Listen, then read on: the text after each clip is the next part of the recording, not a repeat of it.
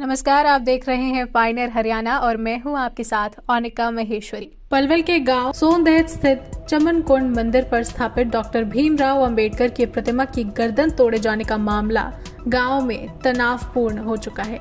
इसी मंदिर में तीन महीने पहले 14 अप्रैल को भी ये अंबेडकर की मूर्ति को तोड़ा गया था और जिला प्रशासन द्वारा इसे फिर से स्थापित किया गया था, लेकिन रात में फिर से इस मूर्ति को दोबारा तोड़ दिया गया। लोगों ने मामले में लिप्त दोषियों के खिलाफ कार्रवाई करने की मांग की। सूचना के बाद उप मंडल अधिकारी डॉक्टर चिनार, होडल डीएसपी सज्जन सिंह, मुनकटी थाना पुलिस मौके पर पहुँची। पुलिस ने अज्ञात लोगों के खिलाफ मामला दर्ज कर युवकों को 24 घंटे के अंदर गिरफ़्तार करने का आश्वासन दिया है।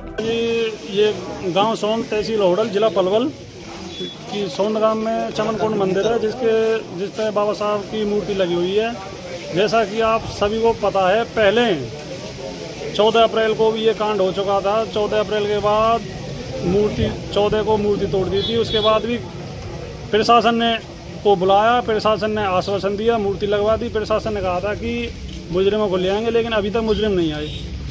फिर वही कांड दोबारा दोहराया गया है और बता दूँ कि 11 तारीख को फिर ये दोबारा मूर्ति खंडित कर दी गई है। लेकिन प्रशासन कुछ भी नहीं करता। प्रशासन को ढील बहुत दे रहा है। ये जो कमी प्रशासन की अगर ये पहले प्रशासन मजबूती से काम करता तो आज ये काम नहीं होता। ये तो तो, क्या शिकायत दिया आपने? अब शिकायत दिया अज्ञात लोगों के खिलाफ शिकायत दी है। अब कहते हैं कि हमारे से पूछते हैं कि आप बताओ मुजरिम कौन है। अगर हम बताएँगे तो फिर तुम्हारा क्या फ़ायदा है? ये बताओ मेरे को। जब हमारे सामने मुजरिम होता हमारे सामने कोई मूर्ति तोड़ भी नहीं सकता तो फिर हम कैसे बता देंगे?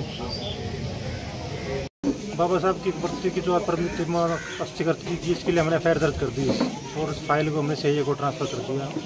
तो इससे पहले भी यहाँ वारदात हो चुकी है। तो ये हमारे लिए बड़ा चुनौतीपूर्ण कार्य है। और इसको हम चाहेंगे जल्दी जल्दी इसको सोल्व कर दिया जाए। और जो इसके बच्चे दोषी हैं, उनको मामला हाँ पहले भी तीन चार महीने पहले यहाँ मूर्ति टूटी थी, लेकिन उसमें हमने काफ़ी प्रयास किया, लेकिन सफलता नहीं मिल पाई।